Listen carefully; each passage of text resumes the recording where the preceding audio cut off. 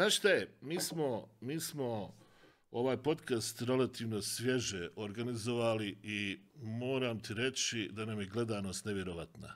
A znaš što nam je nevjerovatna gledanost? Ja sam shvatio. Zato što pričamo istinu. Kad dođe kampanja, sve što oni tamo ovaj, lažu, ja lažem više. Šta oni obećaju? Ja obećam više. I svi glasuju za mene i gotova stvar.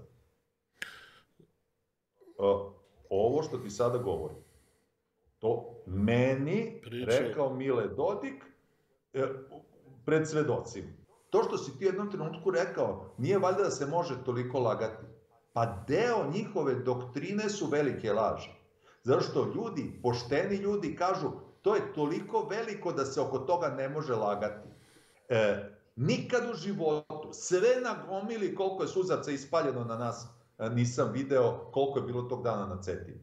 Oni su ugušili ceo grad zato da bi popovi ušli u Cetinski manastir, iz koga vidiš bre, ljude koji izlaze pod punom ratnom opremom. Da. Pozdravljam starim pozdravom sve za Bosnu, Bosnu ni za šta.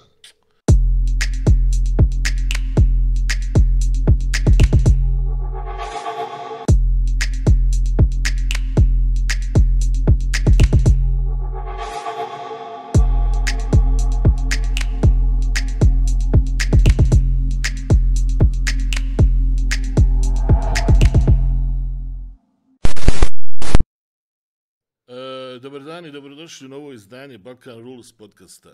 Pitanje koje danas namjeravamo tematizirati usko su vezana za realnost koju živimo u regionu, opštu nesigurnost, kako političku, vojnu, tako i egzistencijalnu. Da li imamo snage da napravimo zaokret kao društvo i zaustavimo ovaj sunovrat, pitamo našeg i vašeg današnjeg gosta, Nenada Čanka.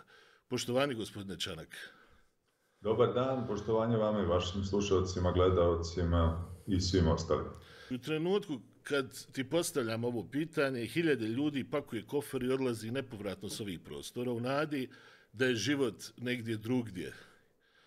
Imamo li mi još ikakve argumente da ih pokušamo odvratiti od te namire? Gde god misliš da odeš, nemoj zaboraviti važnu stvar, da gde god odeš sebe nosiš sa sobom. I pošto nosiš sebe sa sobom, uh, nosiš sa sobom i svoje traume i svoje probleme i to, da li si spreman i sposoban da odeš uh, i ostaviš i deo sebe, taj deo sebe, ako si to spreman, onda nema problema. Nije isto kad su ljudi odlazili 60. godina sa ovih prostora i kada odlaze, ne znam, 90. i kada odlaze danas. Potpuno su tri različite stvari. Jer 60-ih su avanturisti išli ono da kao vide da kako će da se snađu i ono bilo je tu tih legendi na zapadu i šta je znam. Ovaj, koje su se tamo i snašli i tako. 90-ih su ljudi bežali glavom bez obzira živu glavu da izvuku, mislim.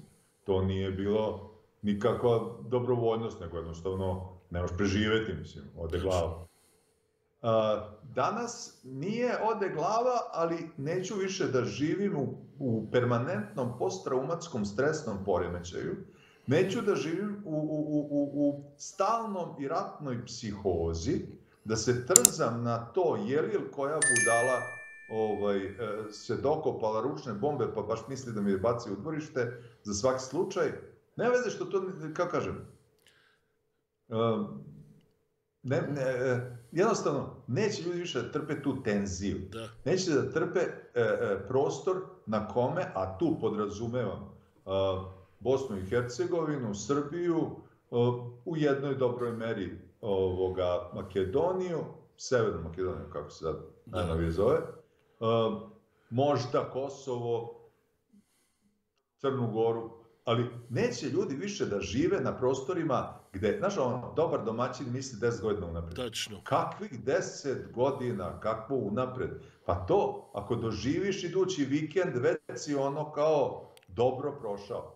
Mi, mi, mi ovde ne živimo, mi smo ovde na izdržavanju životnog veka.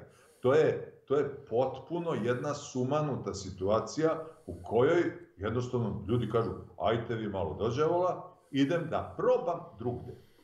I onda odu i onda mi treba godina, dve, tri da se snađu, iskorene se odavde, tamo se ne ukorene, jer niko, ne znam niko ko se u prvoj generaciji ukorenio, drugu generaciju više to ne interesuje, jer su se oni tamo iškolovali, stekli svoj, e, svoje društvo, svoj način funkcionisanja i jednostavno e, postaju nešto drugo.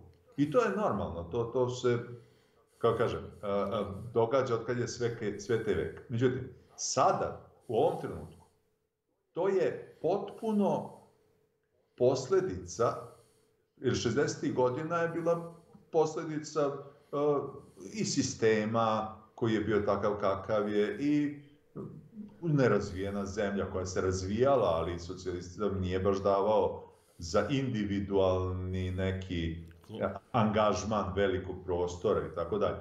Kad je bio rat, nema šta, bežimo pa ćemo vidjeti. Šta će ja? biti, jeste. Ja. Sada je za to što ovde ne može da se živi normalno, su isključivo i jedino odgovorne kriminalne grupacije interesne koje su se predstavile kao nekakve nacionalno spasilačke ekipe koje, eto, ko šta radi, samo spašavaju narod, naciju i državu.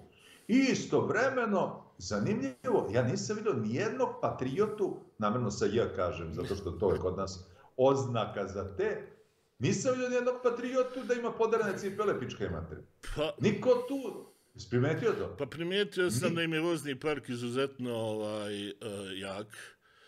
E, pa zato si ne deru. E, to je, ja sam da. upravo htio da kažem. Ne idu pa peške, da. da imaju svoje vozače, sekretarice, da uživaju određene privilegije koji jednostavno ovaj nisu za sav normalan puk, ali... A nije stvarno tome što ne uživaju privilegije nego je stvar u tome što je to sad postalo, kako ti kažem, nekako, uh, uh, kako, znaš, sve može da se promeni, ali neki ne mogu da se promeni. Pa, mo... Jer jednostavno, postali su nacionalno dobro. Da li smatraš da mi živimo već u privatnim državama? Ovo više nisu ni banana države, nego je to neka vrsta privatnih država u kojoj mi kao, recimo, neki obični građani, sprem naših dohodaka smo dužni da plaćamo određene dađbine, odnosno, ako malo više zarađujemo, neki reket.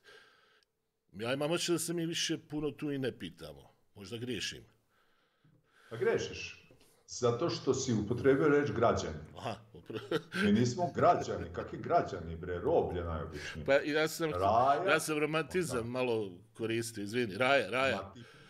Druže, ti pokušavaš da budeš politički korektan a to je u ovom trenutku i nemoguće i neadekvatno. Zato što sirotinja raja ne može da živi, nema šanse i čitav trik je u tome da ako si primetio, kao što sam rekao, svi patrioti i uh, ovi, ovi poludeli vernici, jesi primetio koliko je sa tih vernika? Pa, generalno ima neka statistika, da nabacio sam mi sad izvrsnu loptu, 86% ljudi uh, ispitanika, ne znam sad ko je to radio, ali znam a, da je to bilo oficijalno, baš sam prije neki dan to na N1, mislim, ovaj, e, slušao, tvrde za sebe da su vjernici.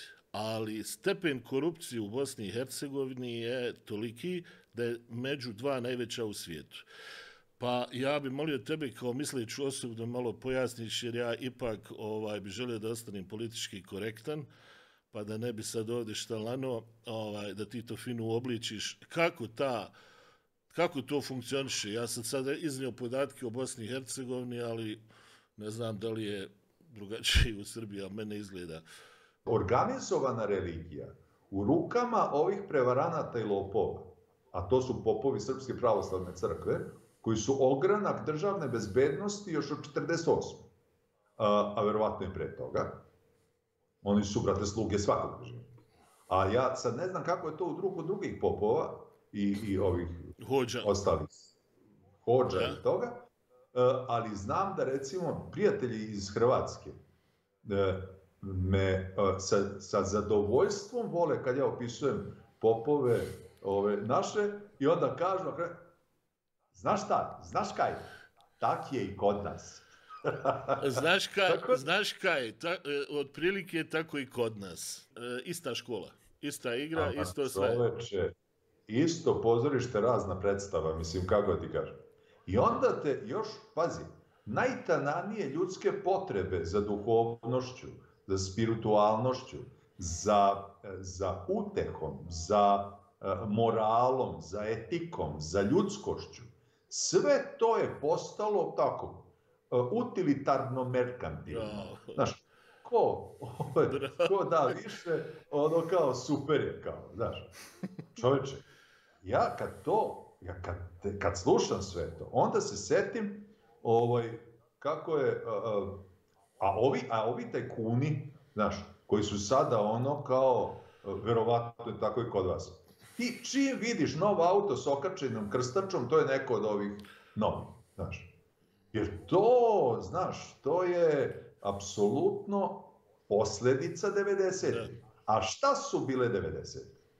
Znaš, mene kad pitaju šta su bile 90. onda im ja kažem, jer svi očekuju sad ću ja nešto tu da krenem da mudrujem, a ima dve reči kojima se ovaj to opisuje. Da li znaš koje su? Evo ja ću te prepustiti, molim te. Oružana privatizacija. I to ti je čitava priča. Oružana privatizacija gde ono što je od Tita ostalo je trebalo podeliti i onda udri da mi to pokrademo šta još tu ima. I onda, kad ti lopovi dođu na vlast, a ti, znači ti što se bavili oružanom pljačkom, nema većih legalista od njih. Nema većih zaštitnika evropskih vrednosti i vrednosti ono religioznih i toga, a najvažnija stvar je privatno vlasništvo. Ne smeš taći privatno vlasništvo, jer onda nas neće primiti u Evropsku uniju. Mislim, a njima je do Evropske unije kao do preklanjskog snega. Nikog to ne interesuje, nego samo ne bil smo uzeli pare i onda kao, eto, tu sirotinju raju držali što siromašnijom. Nije to slučajno. Ne rade oni to samo zato da bi oni tebi uzeli pare, nego da bi uradili sledeće. Da ti, pošto nemaš, tebi šta ostaje od zabave? Sirotinska zabava koja je nekad bila bar plodna, a danas je sirotinska zabava televizija. I to je problem, što ti onda kroz tu televiziju gledaš te što se prave, znaš, ja ne znam kako je to u Bosni, ali ovde sam, evo recimo, ima jedna ovaj, javna ličnost iz Bosne, ja ne znam kako se zove, ovaj, a, a, a, a, ali u svom slučaju umetničko ime je Maca Diskrecija.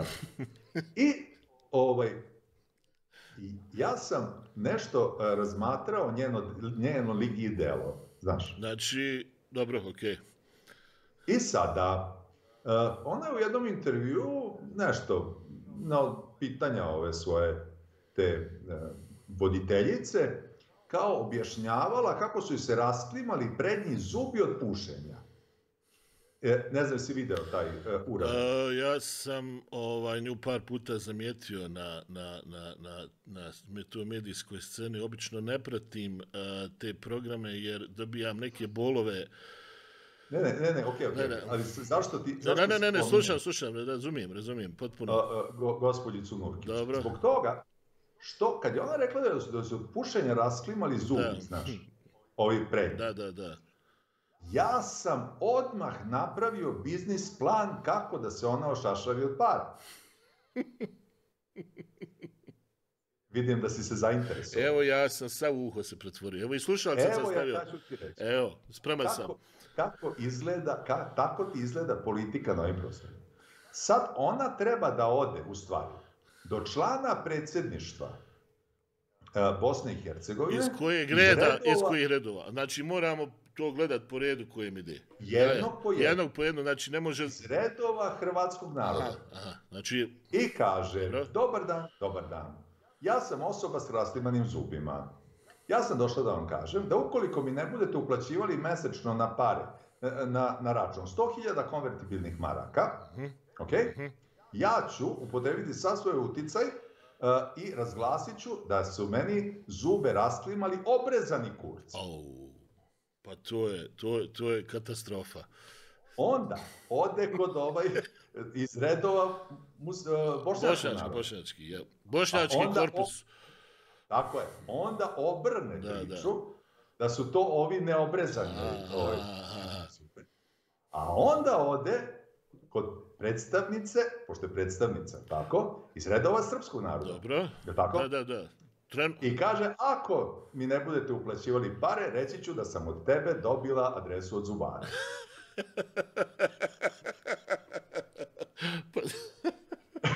I onda, Oj, Bože, na- dragi. A, možeš me zvati Nenad. Dakle, ovaj, Odlično, ne rade. Sjajno. pitanju je, u pitanju je, dakle, ja samo objašnjavam, e tako se vodi politika na ovim prostorima. Samo odeš od jednog do drugog i kažeš šta ćeš kome reći ako ne bude ti uplaćivao pare Ali ne nade. i svi daju pare jer i tako nisu njihove. Znaš šta je žao, žalosno? Žalosno je što ovaj, uopšte se takvim osobama pridaje bilo kakav važnost, daje im se medijski prostor. Na drugoj strani Pa, gledam ej, ej, da... Pa ne samo da se njima daje medijski prostor. Daje se prostor i, i, i, i maci diskreciji. Naravno, naravno, ja govorim o takvim likovima. Imate vi ovu Pa ja sam mislio na ove, ove A i ovi drugi, i ovi, pa to je negdje u istom rangu.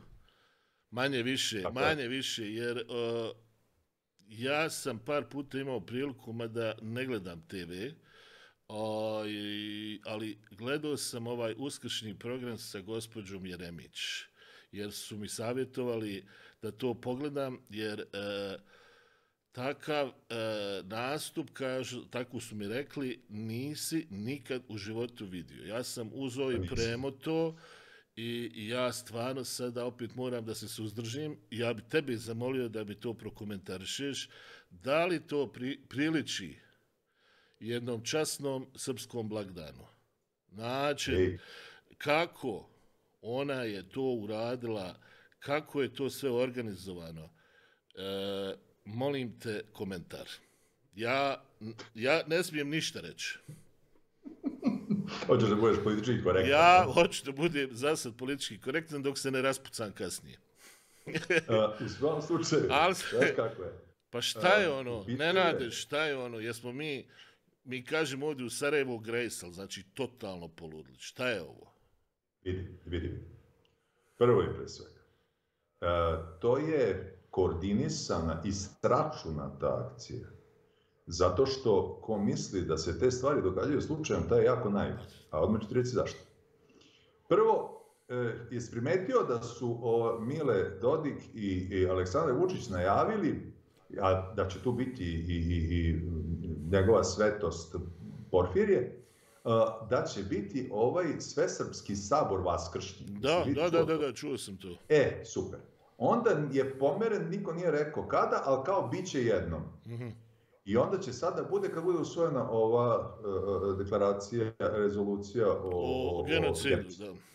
Tako je. Na to ćemo kasnije još doći. Na, I onda sam ja, naravno, odmah pitao, jel će to znači da se pomera i uskrs? Pa mislim, otkud znam, ako je uskršnja ova deklaracija, možda su pomerili uskrs. Ne misliš da se šali?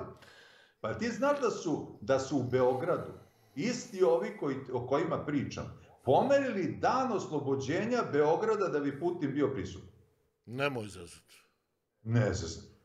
Pomerili Kad za je- dva dana. Kad je zadnji put bio? Kad je bio, da, a nije oni zadnji put, to je još onomad Ono. bilo dok je bio živ pokojan, Ber, pokojni Berlusconi. A, ja, ja, ja. ja. Rahmetli Ber, Berlusconi je organizovao ovaj bunga bunga žurku. Vidim. I onda je ovaj e, Putin, ovaj Kepec išao tamo ovaj na Hlamidija sharing Mhm.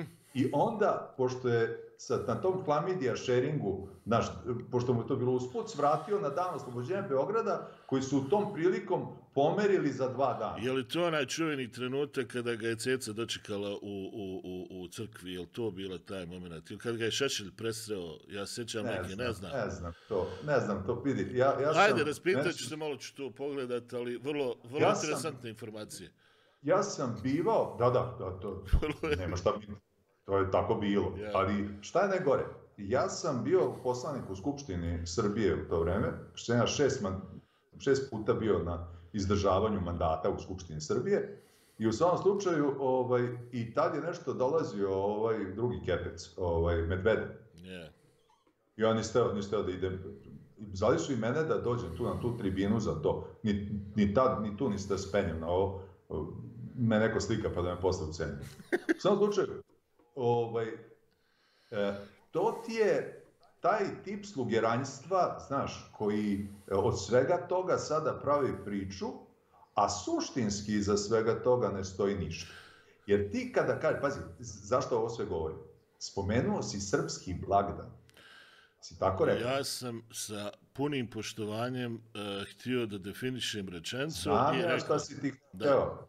Da definišeš, ali ti ja kažem. Jeste, srpski da blagdan. Nema, nema ko se grđe, uh, uh, ajde sad ja da budem politički korektan, uh, defecirao na sve srpske blagdane od upravo tih najvećih Srba ili na hrvatski od najvećih Hrvata.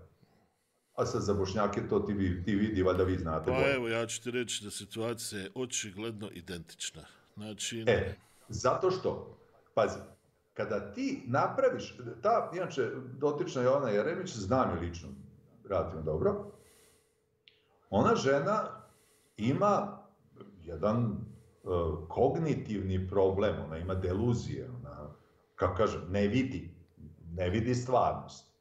I sada, ok, to nije to, mislim, može se tu funkcionisati u normalnom uh, životu, znaš, nije to za hospitalizaciju. Ali apsolutno, kada ti izvedeš osobu toga tipa na, na, na, na medije, ti u stvari snižavaš nivo svega, komunikacije, ovog svega, zato što je potrebno svakome, ali naročito onom lumpen proletarijatskom delu čitavog populacije, dati e, e, nekoga s kim mogu se identifikuju. To je užas. Kada ona... To je užas. Da, da, da, izvoli. Kada, kada e, njen taj čovjek koji je bio domaćin tamo, jeli, e, za uskrs kaže Hristos se rodi. Yeah. Halo, mislim, vidi, ne zna uopšte ko, o čemu se radi, koje su naši, šta se tu dogodilo. Ali je važno da se tu pojavljuje dojučerašnja perjanica desničarske opozicije u Srbiji, uh, Mil, ne, Milica, ne znam kako se preziva, zovu je svi, ona je iz neka grupa zavjetnici, znaš. Da, da, ču... A onda Čuo pa je onda zovu Milica Zanoktica, zato što je potrošila 5000 evra da, da namirali nokte. Nema veze. I sad, e, Milica Zanoktica se pojavljuje, pošto je ona sad ministarka, pazi, za, ne znam, a, a, a, ovaj, porodicu i nemam pojma za šta. I tradicionalne I sad, vrijednosti. I, da, da, da, to je tradicija, to je vrlo bitno. Tradicionalna srpska vrednost da ne znaš kako se pozdravlja na uskrs, ali zato ono, e, e, ne znam, gosti e, pod intoksicirani alkoholom plivaju po bazenu. Pazi, to je besram. Meni je, žen, besram. meni je majka ponosna srpkinja iz Vojvodine. Moja žena je srpkinja i ja ne bi tako katastrofalnu grešku napravio, pogotovo pošto mi slavimo praktično sve praznike, jer to je jednostavno dio naše kulture. Ja sam samo htio da da pro, ti prokomentarišeš jer ti sa pozicije, hajde kažemo, čovjeka koji je autoritet, uh, imaš i, i, i, i to ko što mi kažemo, uh, pravo više da kažeš nego ja. Ja sam samo upitao, meni ono zvučalo i izgledalo degutantno. Ali ne bi, ne, bi, ne bi dalje nju komentarisao. Ja bih samo da se osvrnem na, rekao se sad već, napravio si mali uvod na ove zavjetnice, na tu skupštinu. Pa prije neki dan, pošto smo mi ovdje medijski usko vezani za Srbiju i mogu reći da jako puno kanala možemo pratiti, pratim, to je bilo prije par, par mjeseci, da je Evropski parlament izglasao rezoluciju kojom se traži međunarodna istroga o navodnim nepravilnostima tokom izbora održanih zadnji put sad u decembru i traži se da se e, dokaže da li su vlasti bile direktno umiješane u prevaru birača. Ja sam čovjek koji je pola svog života usred ratnih dešavanja bio prisiljen da provede u nekim drugim državama. I kada bi se recimo to desilo ili u Americi, ili kada bi se to desilo u Njemačkoj, tu sam živio, ja mislim da bi čitav Bundestag ustao da to objasni, da pokuša na sve moguće načine da, da jednostavno e, potraži neko suvislo objašnjenje, jer tako što još nisam vidio da se tamo dešava, ali prva reakcija koju sam vidio kod gospođe Brnebić je bila da je to udar na srpstvo, da je to udar na suverenitet Srbije, da je to udar na moral i vrijednosti istorijske koju je Srbija baštenula stoljećima. Sve sam čuo, ali nisam čuo da je kriminal počinjen. Iako smo mi ovdje u Sarajevu vidjeli gomile autobusa koji su odlazili iz pravca Bosne i Hercegovine, jer tih dana je bilo vrlo interesantno da se pogledaju granični prijelazi, koliki su redovi bili, da se ide u pravcu Srbije i da se tamo glasa. Reci mi, da li je moguće da se tako bezočno laže, da se tako bezočno narod omanjuje, da se taj narod e, drži u, u, u, nekoj lobotom, u nekom lobotomiziranom, imam osjećaj, stanju, e, i dokle će to ići, jer sve ima svoj neki kraj.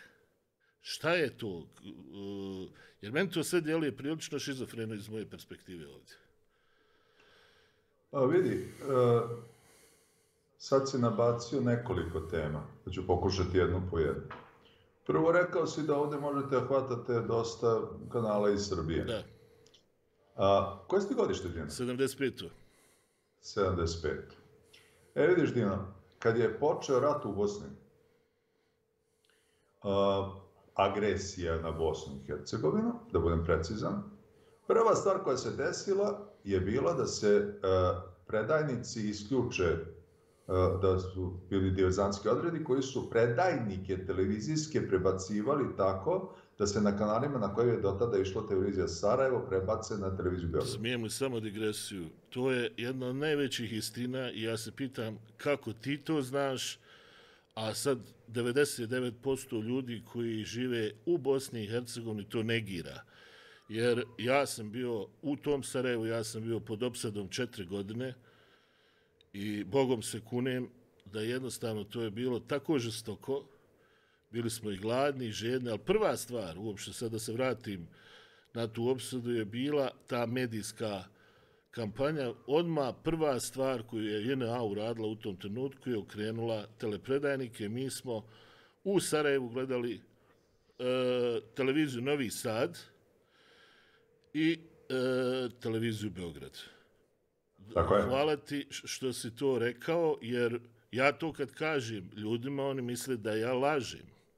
Jer očigledno ljudi, danas je 21. vijek. Rat na ovim prostom je jedan najbolje dokumentovanih ratova u istoriji. Svaku informaciju, ako želite, vi dobijete na klik. Ali ja živim ovdje, imam prijatelje, koji su pravoslavci iz Srbije. Ja uopšte nikad ljude nisam dijelio na ove ili one. Mi u Sarajevu smo ovdje uvijek živjeli skupa. I dan danas živimo skupa i ja imam namjeru da umrem tako. A, ali sve što ja mogu reći, učestvovao sam određenim i operacijama i znam određene stvari, krucijalne koje se zlupotrebljavaju medijima su sa srpske strane izokrenute. Dobrovoljačka izokrenuta, izokrenuto je tu prvo to što se sad rekao. Svako onaj ko smatra da ja sad kažem nešto što nije u redu, nek me odmah tuži. Jer ja sam bio tu, ja sam to vidio. A ovima je neko pričao ili lago. Barikade u Sarajevu nije napravila bosanska strana. Barikade je napravio SDS. Prije nekih sam dan imao polemiku sa jednim novinarom iz Beograda koji mi je tvrdio nešto sasvim suprotno, jer on kao imao familiju u Sarajevu, pa su mi njemu pričali. Pa ja njemu kažem, dođi, pogledaj. Uh, vrlo brzo ćemo imati jedan serijal sa generalom Seferom Halilovićem, s kojim hoću kroz dokumentaciju i Hašku, sa Stjepanom Ključem, isto imali smo jedan uh, E, divan, divan ovaj, e, intervju, da neke stvari predoćimo, pa nek se ljudi ljute, ali mi moramo se suočiti s prošlošću. Ne može biti da smo mi sami sebe granatirali. Ja nikad na to pristat neću. Ne nade. To je uvreda za svakog poštenog čovjeka. Mi nikog ovdje ubijali nismo, nismo činili ništa da Srbi odu iz ovih prostora i nikad nam želja to nije bila. Danas u Sarajevu radi i živi ogroman broj Srba, ali nekome je u interesu da tu informaciju zlopotrebljava. Mi hoćemo da živimo skupa, mi šaljemo poruke mira, mi pružamo ruke i onda dođe ono gove do Dodika, sad se me malo povuko, i pravi sve da bi unijelo nemir na ovim prostorima. Ja sam svoje rekao, sad molim te, malo sam ti nabacao svega, sve što sam rekao ovdje, ja odgovaram i krivično pred zakonom, jer ništa što sam spomenuo nije laž. Eto, to je to. Morao sam reći ovo. E, jedino. Slušam te i mislim se, zamisli ti koliko u tebi ima uh, tog uh, besa nad nepravdom, koji, koji ne znaš kako da izbaciš. Nenad, ja nemam, iz... ja nemam pola familije. Razumiješ o čemu ti ja govorim? Razumem. Ja Razumem. nemam više svojih prijatelja, nemam iz gimnazije. Nas je ostalo, a nema nas četvoro ovdje u Sarajevu. Struktura stanovništa se promijenila. Mnogi su otišli, nisu svi poginuli. Ali sad ću ti nabrojati imenom i slovom najmanje 15 iz mog razda, koji su djeca bili, koji su poginuli ni krivi ni dužni. Jer JNA u Bosni i Hercegovini, Arkani, Šešelji, Bijeli orlovi su napadali civile, I ja sam zato ogorčen što se ta istina iskrivljava. U Srbiji se pravi revizija prošlosti. Veličaju se četnici. Ti isti četnici su sa jevrejskog polja, ovog, sa jevrejskog groblja ovdje u Sarajevu, šenlučili zajedno sa nekakvim ruskim barabama koji su dolazili od, ne znam ti nije odakle, zajedno s Ukrajincima, tu su bili, tu su bili orgije, Pucali su na sve što se kreće. Ubijali su i zabave. Jer mi smo imali jedan pištolj su s tenkovima išli. Ko ne vjeruje, nek pogleda snimke.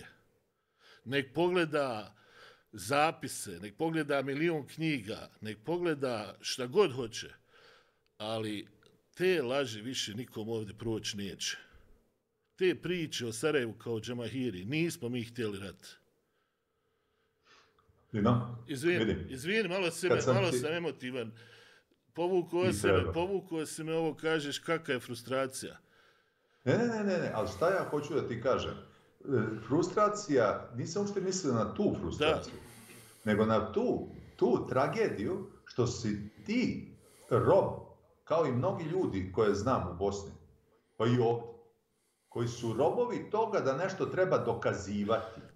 Ja ne mogu reći nešto protiv srpskog naroda. Jer Ama pored mene, ne, ne, ne, hoću samo da ponovim, evo ja ću se isključiti.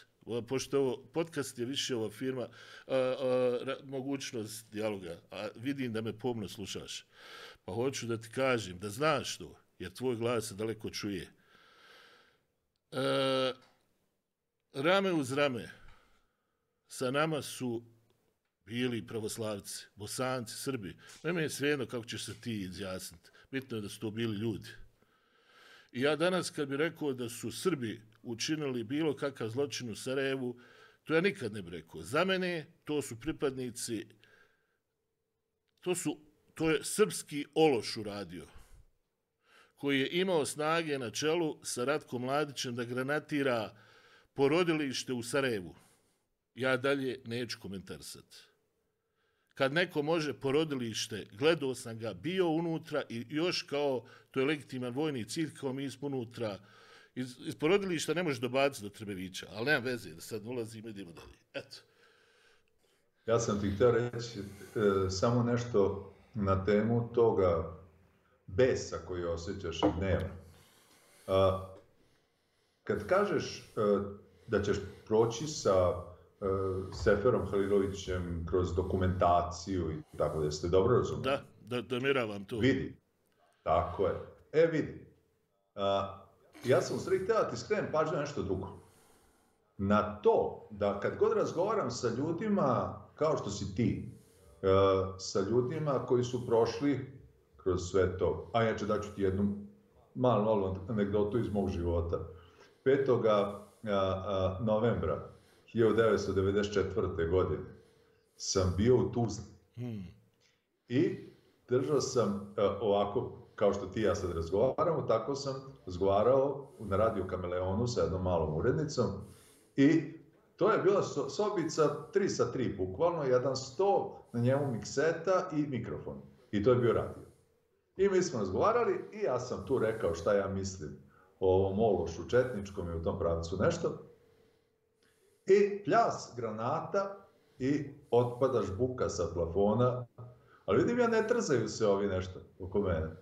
Ja kažem, dobro, ovaj, a šta bi nam ovo bilo? Kaže, a pa ništa to, kaže, slušaju nas na Majevici, pa pripucaju kad im se ne sviđa program. Ja nikad nisam video direktnije istraživanje javnog mnjenja od toga, ali ovaj, ti pričam samo... I to je način, da, i to je način. Pa mislim, tako da razumem tačno, kako ti kažem, koje su naši u tom smislu. A ovo sam ti htio reći. Ta potreba da se stalno ide sa istinom koja će pobediti i tako dalje. Pokojni Aleksandar Tijanić, ne znam se sećaš čovjek. Kako ne, kako ne. E, on je bio i ovakav i onakav i, i, i sad, jel Janet, jel Jehenem, vidjet ćemo to kad stignemo šta je bilo dalje, ali ovaj, ono što je sigurno bio je inteligentan čovjek. Sigurno. I, I on je u jednoj, u jednoj diskusiji rekao ovako, sad se nešto tamo pričaju, pričaju, pričaju, i sad kaže jedan, ali čoveče, pa to je istina. A on kaže, dobro, ali imaš ti neki jači argument od toga što je to istina? što jako navuče na razmišljanje. Zato što a, ima jedna stara dobra izreka koja glasi jedini koga ne možeš nikad probuditi je onaj ko se pravi da spava. Bravo. Znaš. Bravo. E, i zbog toga, ta, taj stalni pokušaj da ti sad nešto argumentima ćeš nekoga da potreseš i da on nešto kao ćeš zbog argumenta da promeni svoje mišljenje, on se samo pravi da ih ne razume. To se sve pravi da ne zna. Nije stvar da ne zna, nego je stvar u tome da jednostavno njega a, a, kvari mu sliku. Što bi rekao jedan stari socijalistički direktor, a, a, jebeš princip kad mi smeta. E, pa to ti je ta ista, ovaj, ta ista priča. Znaš, šta ih briga, bre, da li je nešto istina, da li nije? Šta je briga za Sarajevo? Kako Sarajevo? Šta je? Koga briga za Sarajevo? Koga briga za Tuzlu? Koga briga za, za bilo šta? Mile Dodik, isti taj Mile Dodik, je, ja sam ga upoznao u Švedskoj na kongresu socijaldemokratske partije Švedske. Predstavljao se kao socijaldemokrata, tako mu se stranka vada zvala. Da. Zvala, ne znam. Na slučaju, on je dolazio, pazi, na kongrese moje stranke. I bio gost, govorio. Zvao mene, ja išao na njihove kongrese. Ne. Bili Bog zna kako dobri. I on u zle doba kaže meni, Ja uopšte ne razumem što, šta vi imate problem s tim radikalima. Kažem, kako ne bi imali problem, bre, banda najobičnija. Mi smo imali kalendare na kojima je pisalo gliste, šuga, vaški, radikali, bolesti, siromaštva i prljavih ruku. To su bre bolesti, to, to, nije, to nije, kako ti kažem, to nije, nije politička organizacija. To je, to je udruživanje radi zločinačkog poduhvata. Točno, tu šta? točno.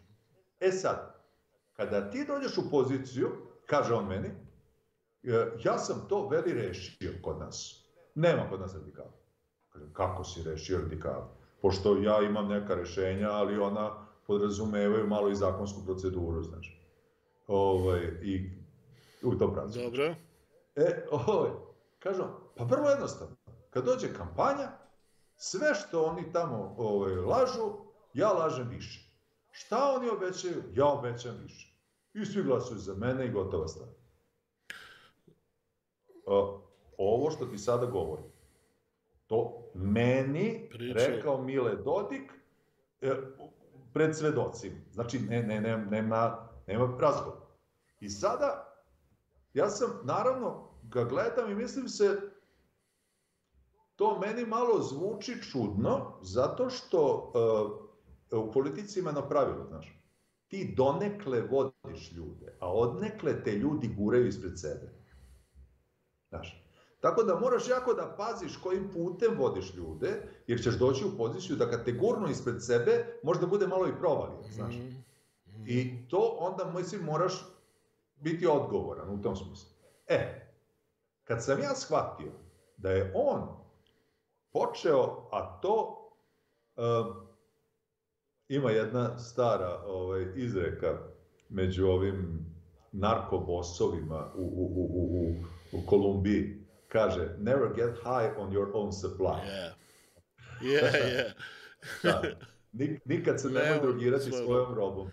Moram te sad malo ispraviti, a moramo ti reći da ste sad najjači uh, narkokarteli bosanski. Ne znam jesi to čuo. Imamo sada kartel ovdje, veliki skandal u Bosni i Hercegovini koji spada među deset najjačih na planeti. Zove se Dino i Tito. Malo pročitaj. Domaća produkcija. Ljudi su uh, uzeli, znači, po, pokušali su da napravi državni udar u Bosni i Hercegovini. Trenutno je velika afera ovdje. Uh, kupili su uh, skoro pola jedinice sad federalne uprave MUPA domaći specijalci su ih čuvali na, na, na, na njihovim gostovanjima a, središte u Dubaju i kako kažu kontrolišu preko a, 35% ukupne a, trgovine drogom na svijetu. Kojom? Kokainom.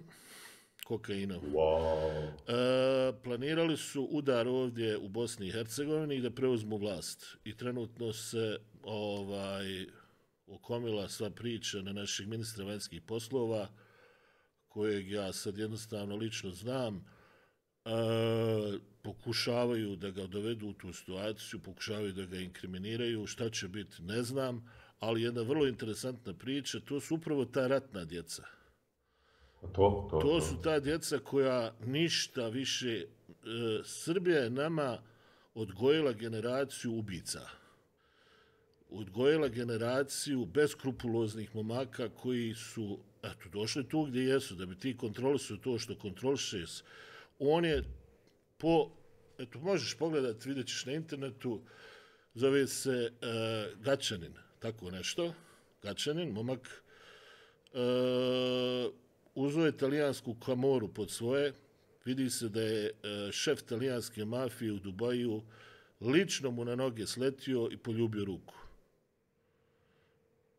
Pa sad ti irska mafija, pranje para preko ovih velikih e, mečeva, to su im dokazali. Ali eto sad uveo smo jednu drugu temu. Hoću samo da kažem kakve anomalije ovaj rat iznjedrio. O čemu mi danas ovdje pričamo. Ovdje je dovoljno da pogrešnog čovjeka krivo pogledaš i ti si sutra već možda u grdnom problemu. To u Sarajevu prije nije bilo. Ha, a vidi, a mi ovdje imamo u, u, u, u, u Vojvodini, u Novom Sadu naročito, Beograd, neću spomenuti, Beograd je, Beograd je klubče zmija gdje kad staneš na jedan rep ne znaš koja će te glava uvesti. Mislim, to je potpuno katastrofa, to, to, je, to je užas.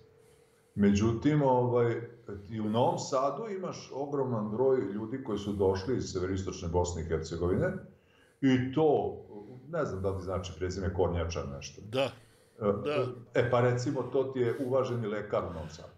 Pa to je, I... to je čovjek koji je napravio genocid u Čajniću. Da, da, da. da. Za... E, pa to ti je, to ti je u Novom Sadu sad uvaženi lekar i kao, eto, nema veze, kao, šta sad, to je to. Uh, Šešelj ti je na svakoj televiziji I sad kažem ja, pa dobro, ove, a malo ono kao, ne znam, ratni zločini, nešto na tu temu i tako dalje. E, znaš šta je odgovor? Pa on je svoju kaznu izdržao. On je svoju kaznu izdržao. Onda ja kažem, dobro, jel to znači da onda svaki osuđeni pedofil posle može da radi u, ne znam, zabavištu? Bravo, bravo. A? Bravo. Može. Bravo, ne, ne. Ali ti, to ali ti to kažeš. Ti si jedan od rijetkih koji kažu. Znaš šta mi smo, mi smo ovaj podcast relativno svježe organizovali i moram ti reći da nam je gledanost nevjerovatna.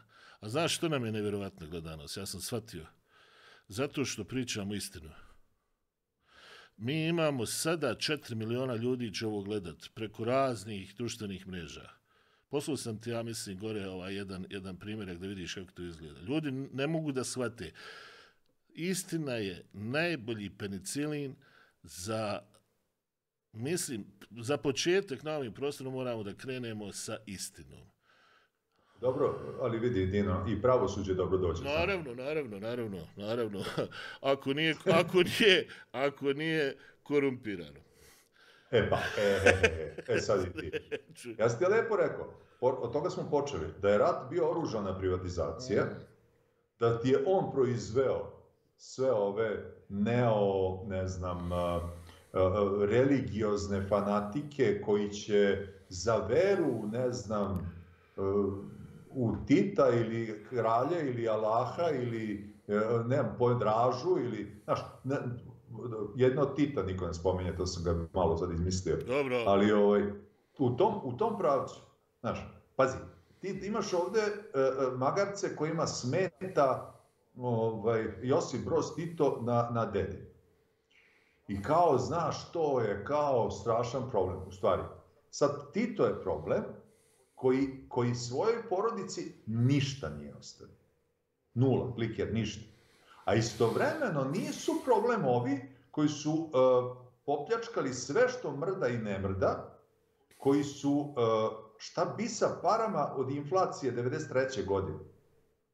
Šta bi sa, sa uh, kompletnom pričom da će sada Pazi, do dana današnjeg, od bombardovanja 99. godine, stoji srušena zgrada generalštaba u, u, u, u, u Kneza Miloša ulici. Znam, u, znam, gledaj, gledaj, da, vidio sam to. E, ali pazi, da li znaš da je ona proglašena za kulturno dobro? Da, da se kao sjeća, da sjećanje. A znaš kad je proglašena? E, to ne znam. 2014. Aha. Znači, 15 godina pošto je srušena, je ruševina proglašena za kulturno dobro. Znači, nije arhitektonska vrednost, nego je vrednost da to mora da bude, da se zna šta su oni nama radili. To ti je kao Rusija, znaš. Rusija koja nikako da odmakne od Staljinove parade pobede 45. godine. I neće... A ne, pa ne može da odmakne, zato što on trenutka ako bi odmakla, neko bi se setio da pita, važi, braćo, a, a, gde su pare? Gde su pare, jebote? Što, što najbogatija zemlja po sirovinama, po ovom, po onom, ne postoji ni jedan element u periodičnom sistemu koji koga nemaš u Rusiji. Imaju nafte, ono mogu se udaviti. Mogu, što imaju sve i žive kao poslednji bednici. Zašto? Zato što je čitava priča taj postraumatski stresni sindrom koji e, je na čitavu populaciju ubačen kao recept za držanje u, u, u, u pokornosti. Točno. Točno. I imaš isto to sada ovde, direktno ruska agentura e, pere mozak u Srbiji ljudima i to pere mozak na taj način da ovaj e, koristi potpuno identične mehanizme. To što si ti jednom trenutku rekao, nije valjda da se može toliko lagati. Pa deo njihove doktrine su velike laže. Zato što ljudi, pošteni ljudi kažu to je toliko veliko da se oko toga ne može lagati. Što je netačno. Oni namerno izmisle te velike laži. Evo ti primjer jedan. Uh, juna 2022. godine, znači sad će biti dve godine, sam lično bio zajedno sa Čedominom Stojkovićem, e, advokatom iz Beograda i vozač moj Pavlo nas je vozio, nas trojica seli u kola i otišli u Ukrajinu. Jer ja volim da ja vidim svojim očima šta se događa, a ne da mi pričaju. Dobro? I odem u Kijev, tamo su već potisnuli pred meseci i po dana ranije ovaj, a, a, Ruse, obiđen Buču, Irpen i ostala mesta gde su ovi bili, ono je katastrofa, to su masovne grobnice, to je, mislim, katastrofa. Ali kažem, sad to je lepo, ali kako kažem, to, to sad na moju veliku žalost masovni grobnice imamo i kod kuće, pa sad šta sad tu da gledam. Ajde da vidimo šta se događa ovaj u Kijevu, e, u ovome u Harkivu. Sedam mi u kola, Harkov je Harkiv, kako se kaže na ukrajinskom, je 500 km od Kijeva. Sedem, odem u Harkiv. Grme topovi, e, nas tamo ovaj, Oleksine Gubov, on je guverner i komandant odbrane, kaže taka taka stvar, mi smo uspeli da ih potisnemo, hoćete da obiđete, hoćemo da obiđemo i tako da. I odvedu nas na jedno mesto koje je, recimo, njihova komunalna služba, ajde tako da kažem, gde u dvorištu, ali kunem ti se, Dino, brdo, brdo kontejnera od e, kasetnih bombi. Bože, sačuvaj. Ja, ja to sve fotografišem. I kažem, ovaj, pa šta je ovo? Pa kaže kasetne bombe. Pa kaže, mislim, koliko ste ovo skupljali? Ovo me gleda, pa kaže, ovo je od jutros, kaže.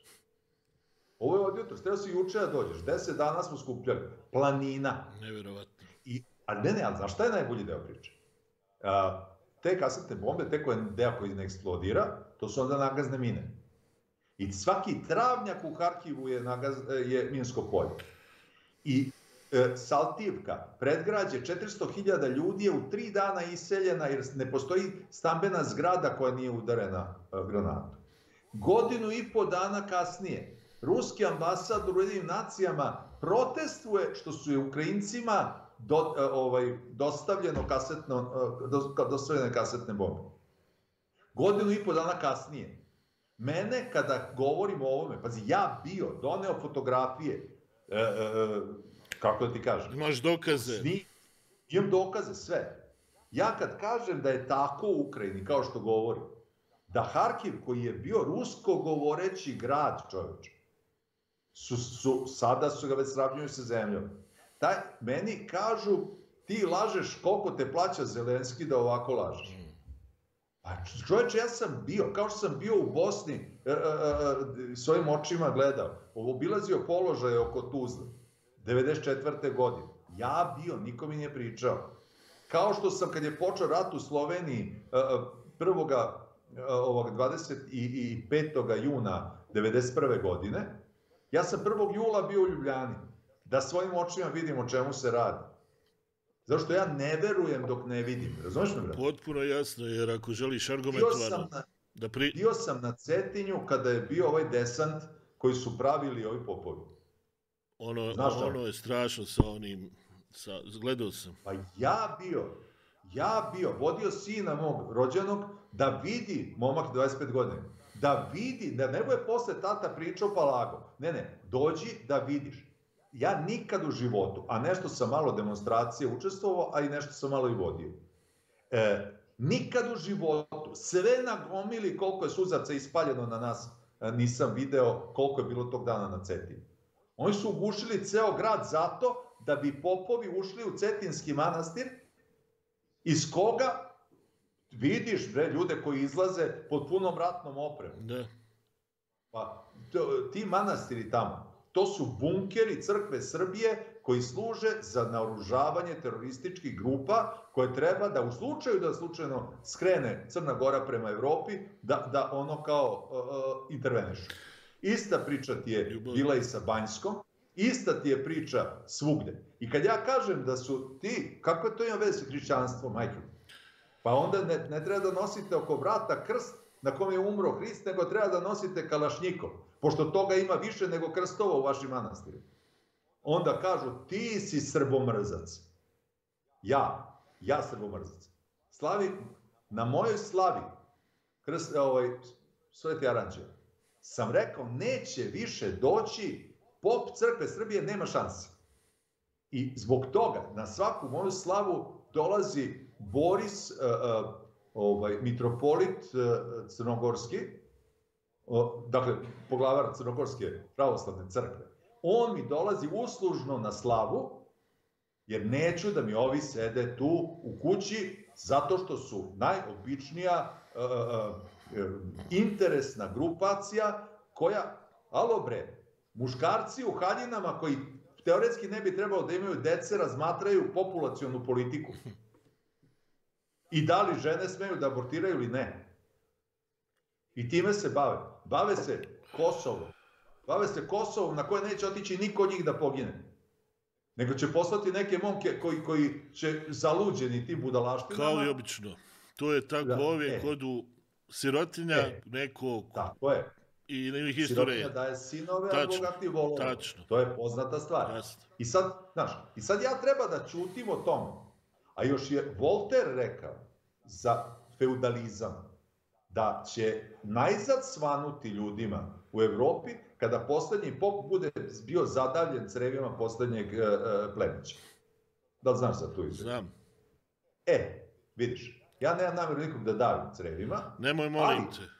sekun, u sekularnoj državi kao što je Srbija, da ti imaš popove u vojsci, da imaš sad, juče bilo u rektoratu na Novom Sa, u Novom Sadu nešto kao duhovnost, nešto drž puš, opet neki popovi.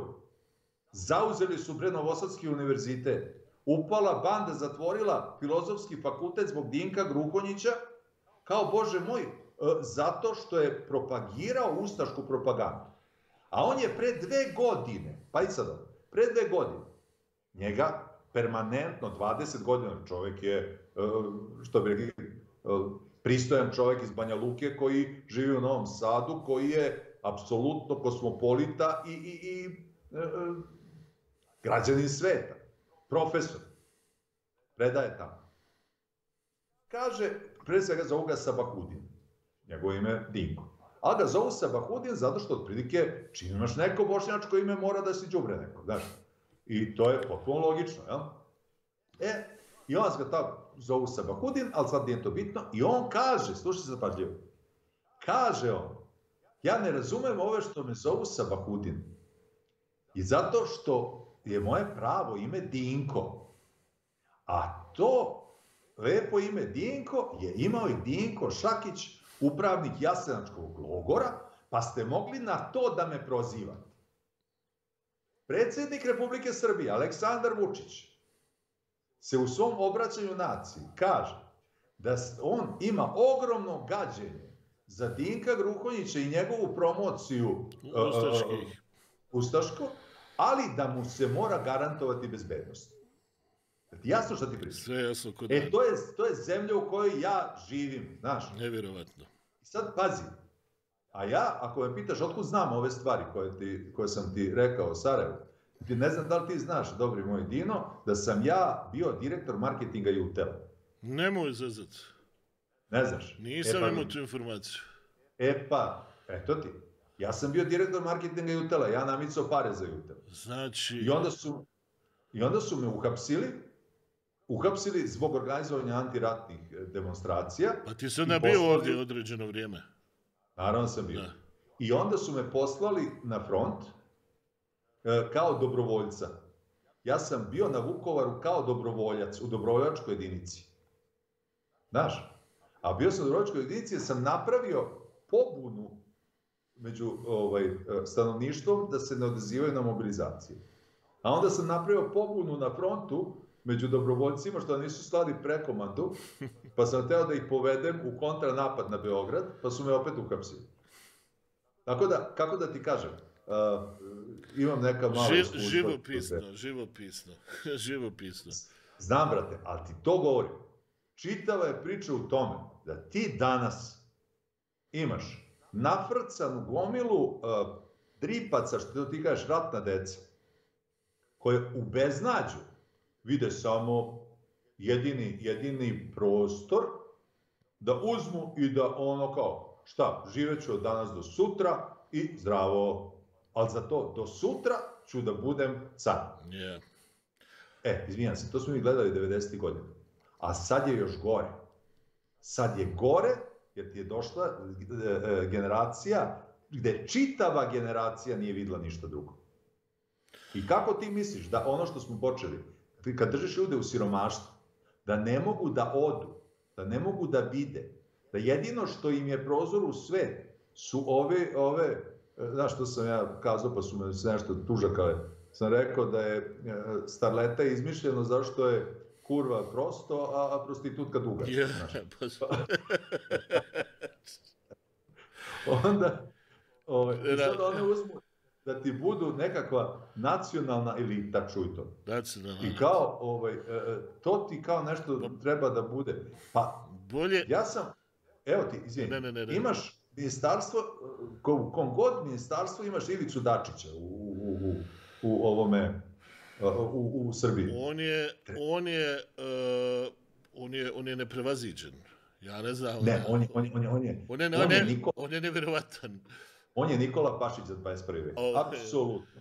Zar može, ja zar može gore od Nikole Pašića? Da ja mislim da je to bio jedan od najvećih ne znam, sad opet mora biti politički kod. Bio je vrlo bez... Ne treba da budeš korektan. E, tako Ako... džubre davno nije ne, viđeno na planeti. Slu, slu, Dobro, ti ste rekao. Za dve godine, za dve godine, od uh, seljačeta u poderanim opancima do najbogatijih čoveka u Srbiji. Bravo. Za dve bravo, godine. Bravo, bravo, Dok je, dok je Al... srpska vojska krvarila preko, preko uh, uh, prokletija, on ima ovo. Njegov, njegov sin, Rade Pašić, je na jahti u Egejskom moru pravio svakonoćne orgije sa lokalnim kurvom. Sjajno. Mislim, istorijski podatak. Sjajno. Da li te to podsjeća na neke sadašnje ovaj, vlastodrse? Pa ja koliko vidim ništa se nije puno promijenilo i mantra je ista, ambicije su iste, uh, viđenja života su vrlo skromna, nažalost. A, ja sa tebe... Mo... Ajde, rec, rec. Da li su to možda ovaj, tradicionalne srpske, hrvatske, bošnjačke, ovake, onake vrednosti? Ja mislim da jesu, ali a? mi nismo imali smoli, nikad smogli snagi da pogledamo sebi u oči i da priznamo neke stvari, da smo mi u suštini vrlo... nismo mi džaba tu gdje jesmo. Ja mislim da kad, kad uh, se neko toliko kune u, u, u moral, u, u vjeru, a rezultati njegovog uh, dejstovanja, aj tako da kažem, ili ponašanja su ovako poražavajući kako na individualnom, tako i na društvenom nivou, onda to mnogo govori o ljudima. Znači da oni lažu, da hoće sve sutra. Ja još kažem, imao sam puno nekakvih situacija u kojima sam imao priliku da testiram ljude, pa sam možda i neki razni mentalitete upoznao. Naš čovjek nije čovjek od povjerenja, čas izuzetcima. I lako ga je kupiti ovo što si ti na početku rekao, nažalost, izbore e, dobijaju oni koji su došli do spoznaje da možeš kupiti izbore za sendviče. A kad ti kupiš izvore za sendvič, onda više stvarno niko u toj državi nema pravo da se žali. Što je situacija takva kakva jeste, trebamo biti još pet puta gore. Ali nemoj zaboraviti važnu stvar.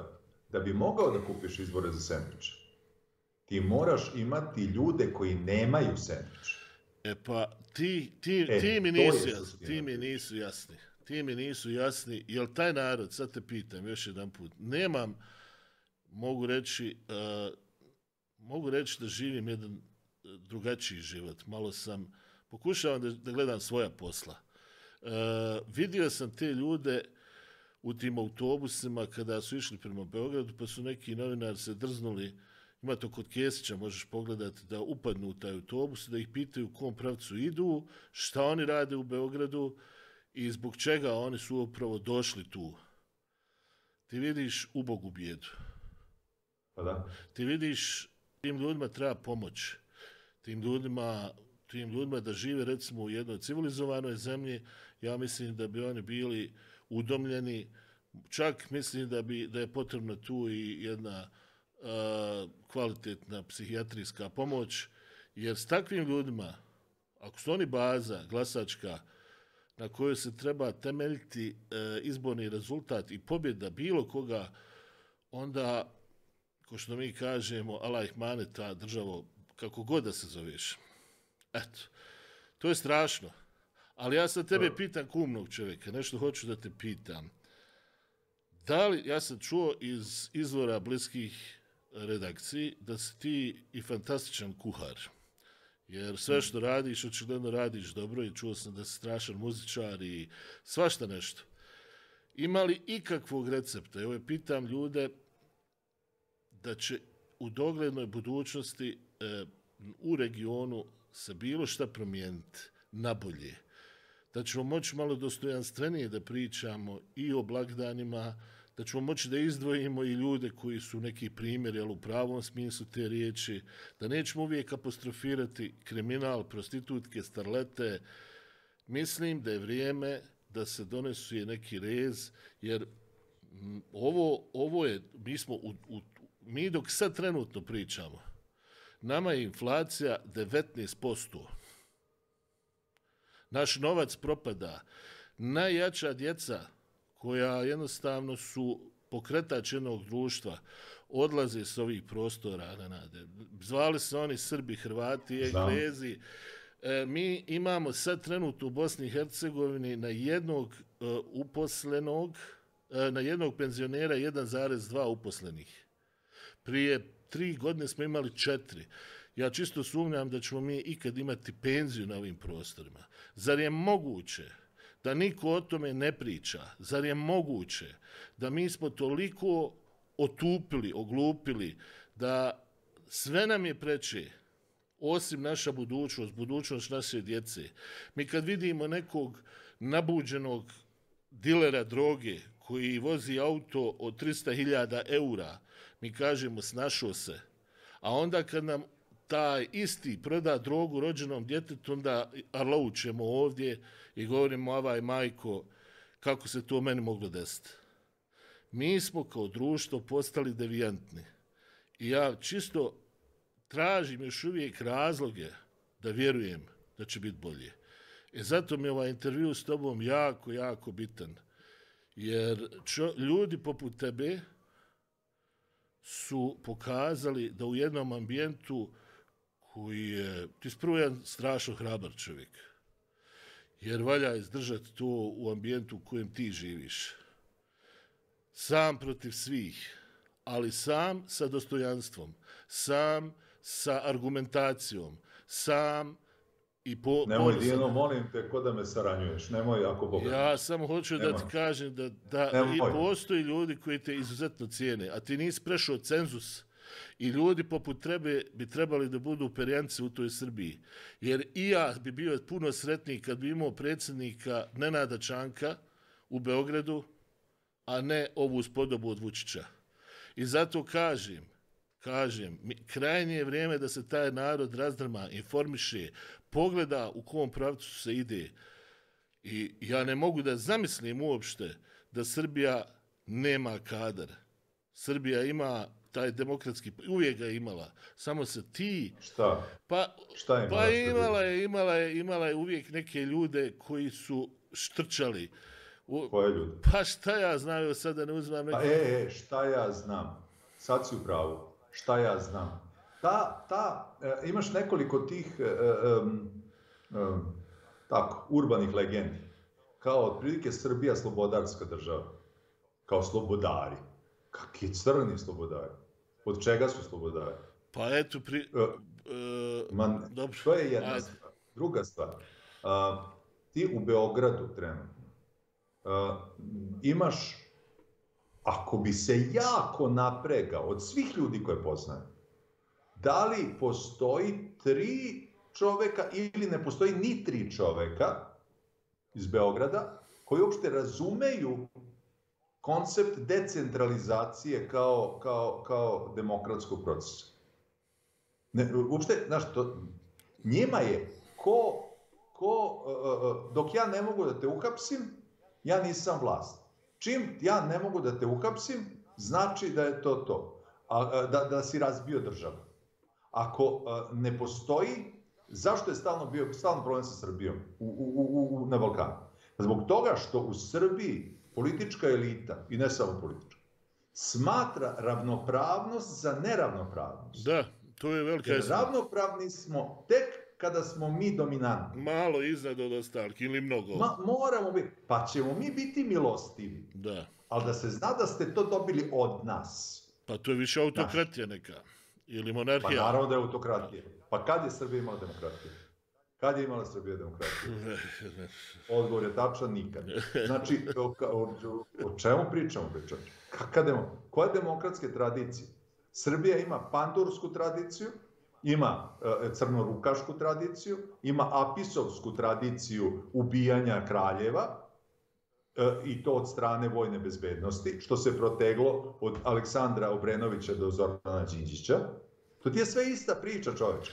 Pa ja sam u osnovnoj školi, od pa osnovne škole pa preko gimnazije mi smo učili mi nismo učili e, nikakvu drugu istoriju osim srpsku. I uvijek se spominjala apsolutno slobodarskija nacija. Mi smo vjerovali u to. Ja i dan danas imam jako i familiju i prijatelje i za mene srpski narod nikad neće biti neko koga će ja gledat preko oka.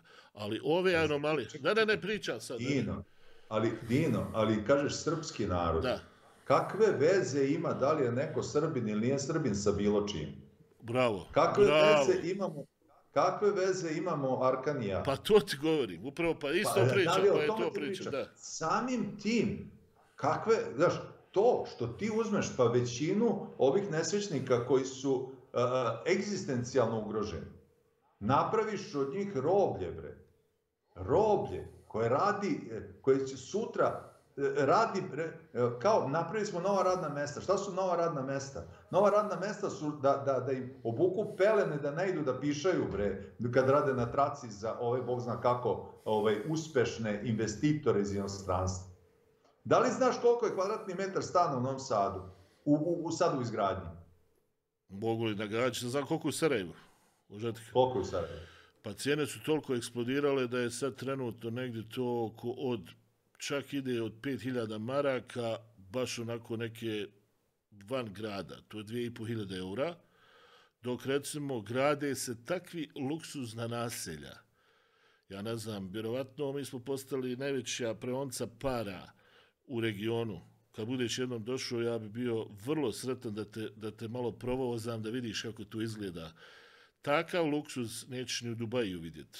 Tu su naravno cijene sasvim drugačije i možeš dobiti, ako želiš ptičijeg mlijeka, uh, za neku cijenu, hajde da kažemo, od 8 pa 12.000 pa uzbrdo. Sve zavisi od opreme. Možeš ti ići, stvarno se gradi. Ali znaš što je interesantno? Niko unutra ne živi.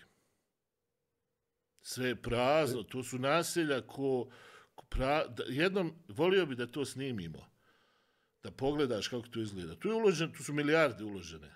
I najveće kad se vozimo, tri svjetla gore. Tri svjetla gore. A cijene kada pitaš koje su, cijene su kod si u peto, na peto aveni, brat. Šta nam to govori? Vidi, Šta nam to govori? U Novom Sadu, u Novom Sadu, da. Uh, si u zadnjih uh, 12 godina je registrovano 100.000 novih automobila. Pa bravo. 100.000! Pa jel mi, jel mi živimo dobro ili ne živimo?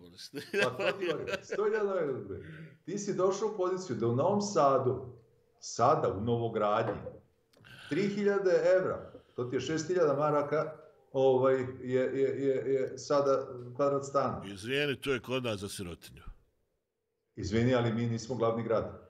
U Beogradu, u Beogradu, nemoj zaboraviti, e, su ti ce... Ne, ne, pazi, ovo je sad u Novogradnji, a imaš ti sad stanove ovde koji ide po četiri. Da, da, da, da, da. Ali u Beogradu, Beograd na vodi, pa to ispod deset iljada ne možeš da se, da, da uopšte razgovara. Ne nade, molim te, prvi put kad dođeš, zove me, vodim te na jedno mjesto, a, ako to budeš vidio igdje na planeti, ali ja i ti idemo.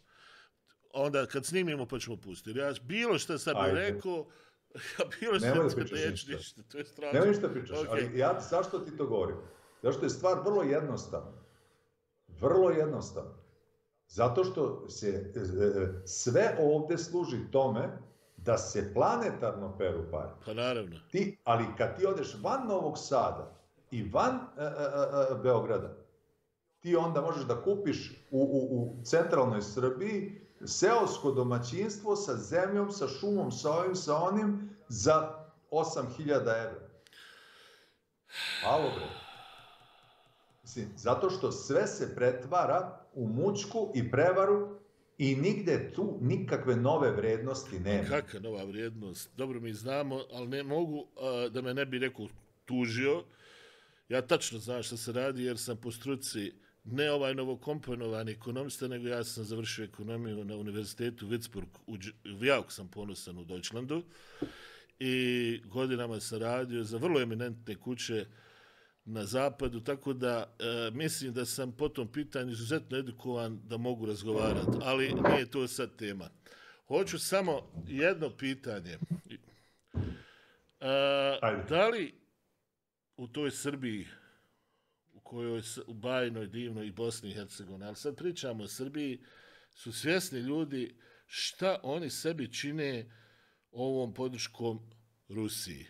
Oni od sebe prave male Rus. Pre neki dan sam pričao ovdje sa e, osobom koja je uposlenik u njemačkoj ambasadi, pa smo malo onako uz neki ručkić malo porazgovarali šta, kako i kuda i oni kažu i sad pričamo Eh, o Dodiku smo malo pričali. Eh, ja ga pitam kako vi dozvolite da jednostavno jedan Dodik onako se bahato ponaša, vrijeđa kad stigne, eh, prijeti on nekakvim rat, on nekome uvodi sankcije. Oni umiru od smijeha.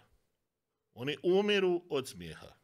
Ja pitan šta je smiješno? Pa, kaže meni, reci ti meni, š, je li tebi realno uopšte da tog čovjeka treba uzmet za ozbiljno? Kad bude sazrlo vrijeme, on ide. To mi je rekao čovjek koji je visoko pozicioniran u ambasadi. Sad šta hoću da kažem? Ru, e, Srbija na sebe navlači gnjev najmanje 120 miliona novopridošlih NATO saveznika od Litvanije, Estonije, Letonije, pa dole preko Poljske. Njima kad kažeš R, bolje da ih u oko ubodiš. I kroz ovu kompletnu priču, e, stavlja se Srbija na crnu mapu, jer ti se možeš juniti sa Evropskom unijom koliko god hoćeš, ali robno-trgovinska razmjena je ta koja diktira tempo i drži Vučića na vlasti. Ako ovi uvode sankcije, Srbija je stvarno u jednom teškom položaju, a u Republici Srpskoj ne bi ni razgovarao. Pitam se da li je to e, informacija koju iko normalan tebe pitam, uzima kao ono, in, in consideration, da tako kažemo, ili... Dino, ajde pitaj nešto. Ove. Uh, jesi bio ti nekad na proslavi gde se neko napio? Pa jesam. A jesi video da taj što se napio hoće da se vozi kući? I to sam vidio. A jesi video koliko je teže tog što je pijan ubediti da je pijan i da ne treba da vozi, nego nekoga ko je trezan? Divno rečeno. Divno rečeno. Pa je tebi jasno koliko truju ljude ovde do te mere da ljudi, pazi ovako, trgovinska razmena sa Europskom unijom čini, nemoj me držati za reče, mislim, preko 70%. 78,2, ovaj... malo prije sam gledao. E, znači 78,2.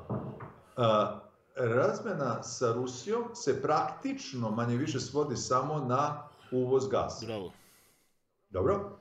E, kad pitaš anketom na ulici ljude, ko je najvažnija spoljno-politička, mislim ono kao trgovinska uh, partner Srbije, uh, listom će ti reći da je Rusija. A jel ti ljudi znaju koristiti internet? Naravno da ne. Ali nije stvar u tome. Nego je stvar u tome što kad su me pitali ljudi iz Europske unije dobro šta da radimo, on sam ja rekao, znate šta gospodo, uh, jeste čitali vi Mein Kampf?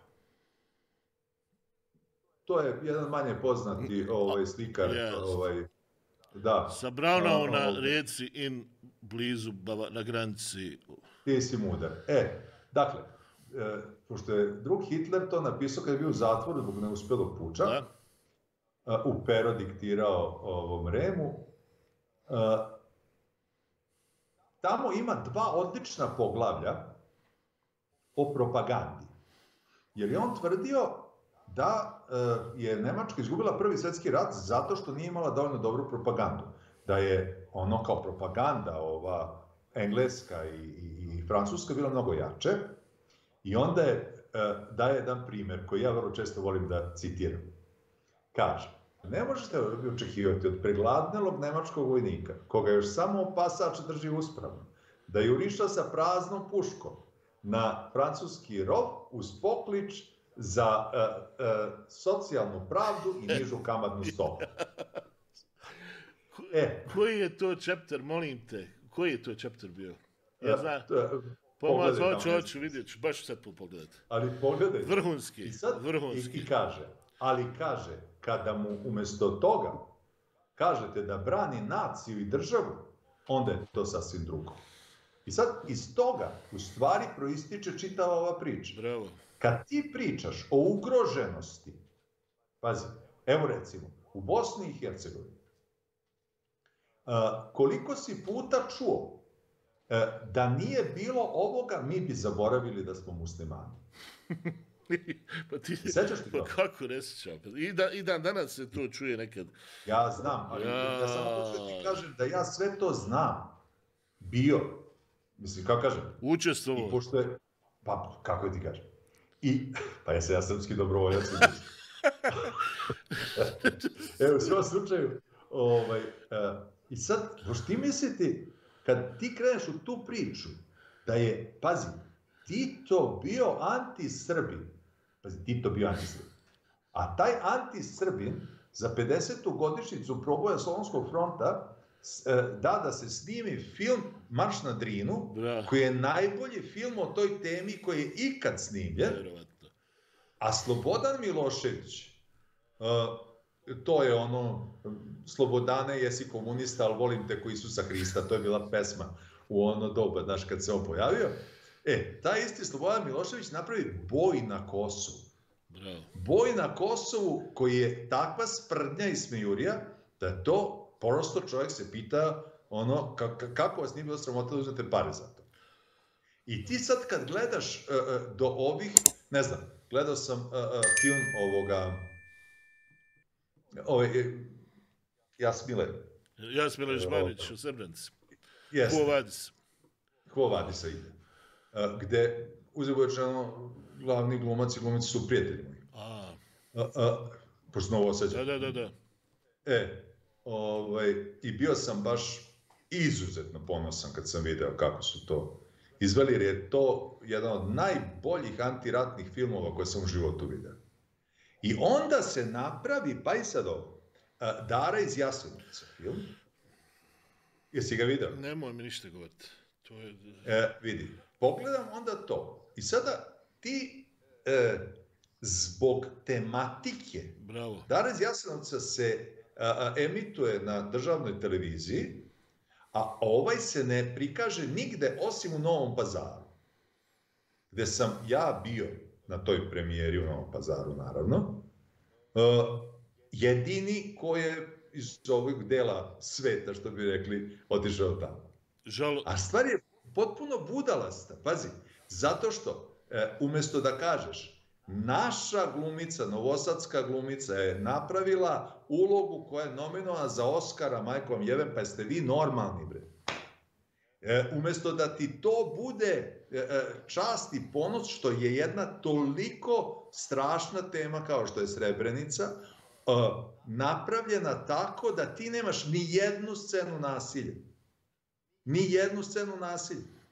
Što to čini, što to diže u rang u, u filma Život je lep, pijanista, Bravo. to su ti naj, najmoćniji filmovi antiratni koji postoje. Ti napraviš onaj, onaj e, trećerazredni horor gde misliš da ćeš sa više krvi napraviti više strašno. Pa šta je bre vama, vama ljudi? Pa to je to nacionalističko opoganjenje svega što taknu, jer sve mora da bude u službi njihove današnje vlasti. Istorija. Da li znaš da je istorija u Srbiji najpromenljivija kategorija koja postoji? To se... Ništa. Pa evo, Vreme se ne menja brzinom kojom se menja istorija. pa evo imamo reviziju, evo upravo se mi nabacio loptu, ja mislim opet da bi, kada bi bili normalni, a ja opet šaljem poruke mira i prijateljstva, jer ja i ti bi bili najbolji prijatelji kada bi živjeli bliže, a mislim da ćemo biti dobri prijatelji. Ovaj, za jedan kvalitetan odnos na Balkanu krucijalno je pitanje između Srba i Bošnjaka. Ti narodi su uvijek živjeli skupa u Bosni za vrijeme uh, Jugoslavije. To je bilo, kao mi smo to zvali tigrova koža. To je bilo tako isprepleteno, miješani brakovi. Uh, ja nikad nisam se upitao, mama mi je iz Novog Sada, otac mi je Sarajlija, uh, e, ja rođen u Dubrovniku, uh, kasnije to, kroz te ratna dejstva, kasnije sam bio prisiljen da po, se smucam po čitavom svijetu. Uvijek sam gledao čovjeka. Da proba se, umjesto da se proba, da radi se na relaksaciji odnosa između ta dva naroda, ja vidim s jedne strane rehabilitaciju Draže Mihajlovića, ja vidim sada ovaj obavijest da se u Srbiji e, gradi spomenik Nikoli Kalabiću, pa se onda pitam ako e, uzmemo tog Nikolu Kalabića i probamo jednostavno da vidimo ko je taj čovjek bio. Taj čovjek najviše pobio Srba. Odnosno, isključivo je Srbe bio jer je po Šumadi i po tim partizanskim džepovima južno od Beograda bio izuzetno poznat kao krvolog. On niti je vidio njemačkog oficira, niti je vidio ustaškog oficira, ni domobranskog, znači on se iskaljivao na Srbima i Srbi mu dižu spomenik. Moja porodica je nastradala... Dino, Dino, Dino, Dino. Ja sam... I Pa ti opet, ali ti opet isto. Opet ja. Ti bi, ti bi opet argumentima. Povraći, ne moram. A stvarno si čudo. Izvini. Ti bi stalno nešto argumentima. Hoćeš ti ispričati nešto još gluplje? Ajde, Evo. ajde. Ajde. Ajde. Znaš ko je bio Voja Tankosić? Major Voja Kako Tankosić. ne? E, Major Voja Tankosić je bio onaj koji je Gavrilu Principu i ovim njegovim teroristima dao ovaj, oružje da- i da ubiju našeg prestolonaslednika Franca Ferdinanda. Ona, Da. onaku državu nam je sjebo. Ma čoveče, Franz Ferdinand Jo. je imao Franz Ferdinand je imao ideju da kada umre Franz Josef, napravi Sjedinjene države Velike Austrije, gde su i Bosna i, i, i, i Vojvodina trebale da budu uh, države. Ne znam jesi to video. To je inače po planu uh, koji je uradio jedan uh, advokat iz Temišvara, koji Aurel, Aurel Petrović se zvao 1906. godine. Aurel Petrović bi bilo Zlatko Petrović, Da. E, on je to uradio. Franz Ferdinand je to video i on je želeo da tako uredi Austriju. I to bi ti bila Evropska unija uh, još 916. godine. I onda Voja Tankosić da ovome uh, uh, Ga- ovoj ekipi Ja sam tamo, mlada da- da Bosna. Tako je. I onda oni ubiju ovoga. Probaju da se otruju cijankalijem koji im je on dao. Nije baš. Ali naravno, srpska posla dao im je sa isteklim rokom. Tako da se nisu uspeli da se ubiju. I u svakom slučaju podigne se spomenik Voji Tankosiću. Da li znaš gde? Ajde mi reci, molim te. U Kisaču. Znaš li šta je Kisač? Pojma nemam, reci mi. Kisač je jedno od redkih čisto slovačkih sela u Vojvodini. Nemoj zezati. Ja to ne radim. Ja ti ozbiljno ne. Ja hoću to da slikam. Ajde, dođi pošto. Doću, imam ja familiju gore, pa doću. Pa ti sad, pa ti sad vidi ka, koji su to budalasa. Imaš u Dunavskoj ulici u Novom Sadu. ali nije to više budalasanje, to je uvreda za, evo, ti isti četnici su pobili, e, eto, postoje dokumenta, ja neću sada da ulazim na široko, e, ovi savremeni novi historičari su došli do cifre od 12 genocida. Nijedan, nijedan, i nijednu istorijsku priliku nisu promašili da e, ne okrvave ruke. Obično na civilima. Pa naravno. I ja sad kažem jednu stvar. Hoćemo mi prestati s tim ludlom? Hoćemo li krenuti neka nova strancu da okrenuti? Vučiću mi ne vjerujemo ovdje. Vučić nije uopšte faktor kojem se može vjerovati. Jer Vučić je jednostavno jedan obični prelivoda kojem je sve, e, apsolutno ništa nije svijeto osim vlasti. On bi sutra potpisao za bilo šta i radio bi šta god hoćeš, što je sad nespojivo s pameću, što je on i pokazao, ali on ne može nikako biti faktor stabilnosti. Da li vidiš bilo koga u Srbiji, osim tebe, ko bi mogao da ima taj kredibilitet i da konačno počnemo da sarađujemo, da se bavimo ekonomskim razvojem, da se bavimo školstvom, da se, ovo, je pamet, ovo su pametni ljudi. Srbija je iznjedrila more fantastičnih ljudi. To su najbolji sportisti u Evropi. To su stat pa ustat kad pričaš o tome. Izvijem. Kažeš najbolji sportisti u Evropi. Tačno. I na svetu. Sigurno. Sigurno. E, bez dalje. E sad pazi. I ti sada imaš Novaka Đokovića. Ok? Da. Koji je najbolji teniser svih vremena. Ikad. Tako? Ikad. On je... Ikad, on, ne. tako je. Međutim, znaš, uh, ja ga zovem fiskulturnik, znaš. Što tako se zove fiskultura, pa kao fiskultur. I sada ti fiskulturnici, znaš, što je super, ti gledaš čovjeka koji stvarno radi stvari koje su za ljudsko telo normalnog čovjeka nedostižne. Ali, to ne znači da, pošto si uvežbao desnicu ruku, da onako herojski udara po nedužnoj loptici, Točno. da li to znači da si ti onda i e, autoritet u e, nacionalnom ponosu i pravcu u kome Srbija treba da ide? Pa, Ili Aleksandar Šapić, joj, nemoj, Ovaj- nemoj, znam, vidio sam. ja samo kažem. Nemoj. I sada, pazi, i ta priča o tim fiskulturnicima koji su na jedan put postali, pazi, to ti je samo druga strana starleta, kad malo bolje razmisliš, samo što su ovi više trudili. Ja, I to je čitava priča. Ogrom. Da, zato, da, zato, zato što je i to fetišizovano. da. Nemoj, znaš, oni su toliko ob, obožavani u narodu da je to jao, jao, jako. Sve se slažem, ali e, ja se divim svemu tome. Međutim, šta ja ima da se divim njegovim političkim idejama koje vode taj isti narod u koji se on kune pravo u propast. Ma misliš ti da njega neko imaš- pita? On je tu da jednostavno duva u, u, u, u sirene i, i, i, trube, ko što neki... on je, on je sam uzo pare svojim nogama i rukama. Šta, kome on polaže račun? Milioner iz, iz Monaka. Tačno. Šta, šta se njega tiče, kako će ljudi ovdje da žive? Kako će, šta se tiče Jokića, kako će ljudi ovdje da? Šta se tiče bilo koga od tih ljudi?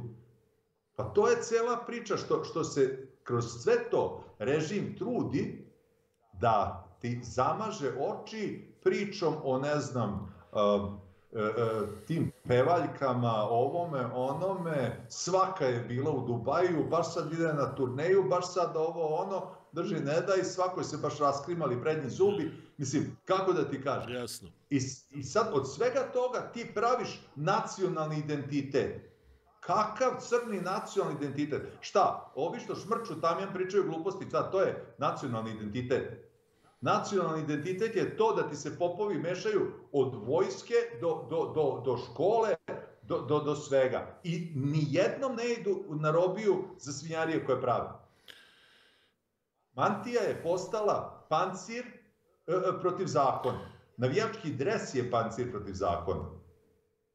I kao što reče Nikola Pašić, koga smo malo čas spomenuli, ti znaš njegovu omiljenu izreku, zakoni su za protivnice. sjajno, sjajno, sjajno. Šta da ti kažem još? Znači, milion tema imam. Milion tema. Nadam se da ćemo imati priliku da još, još, još, još pričamo. A, mogu ti iskreno reći, uh, znao sam da si, da si mangup, ko što mi kažemo ovaj, ovdje u Sarajevu, ali e, nekako poslije ovog razgovora osježio se mi dušu jer vidim da postoji tračak nekog svjetla i, i, i, i, i- i kod vas tamo. Želim ti od srca sve najbolje i želim da što prije se vidimo i da budeš i naš gost ovdje u Sarajevu, da ti neke stvari pokažem koje vjerovatno ne bi mogao vjerovati da ti ja sad pričam ovako preko, preko ovih sokočala, ali u svakom slučaju hvala ti za ovaj fantastičan podcast. Ja mislim da će i naši gledalci ovaj, uživati. Bilo je nekad malo emotivno, bilo je nekad malo i, i bezobrazno, ali bilo je onako kakvi mi jesmo. Eto, ne znam šta bi ti dodao na sve ovo. Prebrali smo dosta toga, ako bi krenuli, ja mislim, tri dana bi nam trebalo. Pa da ne bi ljudi sad ovaj pomislili da odosmo previše, skoro dva sata smo ovdje, da ostavimo nešto i za drugi put, ako se slažeš. Naravno, evo ja sam tu, kad god hoćeš pozovi i od pozdravljam starim pozdravom sve za Bosnu, Bosnu ni za šta. Nenade, nek se nam živi Izra milion godina.